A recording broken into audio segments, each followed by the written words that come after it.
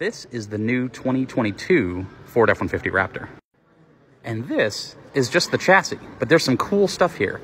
All the blue bits of frame are pieces that have been changed specifically for the Raptor, and the orange bits are suspension components that have changed.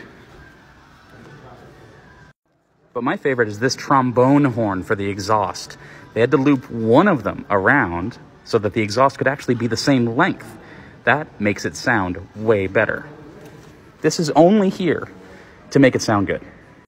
There are butterfly valves back here, so it has a quiet mode. So if you're driving into your neighborhood at night, you don't want to wake everybody up, you can do that. And there's actually three exhaust tubes. So when these are closed, it uses the bottom one to send the exhaust out. Ford's engineers have also gotten rid of the old leaf springs and gone for a five link rear suspension as well.